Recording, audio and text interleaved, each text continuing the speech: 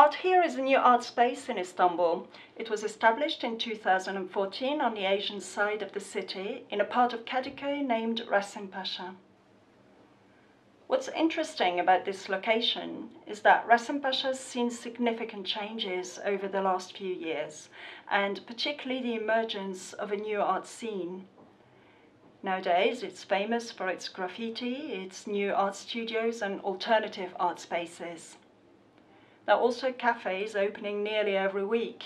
And it's worth mentioning that because of its growing importance, this year this neighborhood has been selected as one of the locations for the Istanbul Biennale.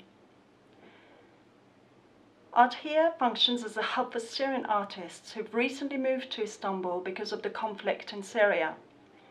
It's an artist-run gallery featuring the work of its members and guests, as well as an art studio, an art center, and a cafe. Arthere is financially independent and it doesn't rely on external funding to cover its basic needs. In fact, the space has a business side. Artists can work here. They have access to all the facilities to do their work, including a dark room, a carpentry workshop, and an archive.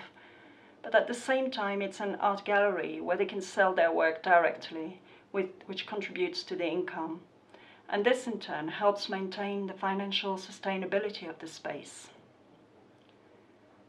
At the same time, it has an art cafe, uh, which is a space where people can meet and discuss ideas and where art related activities are held, such as concerts, workshops, or panel talks.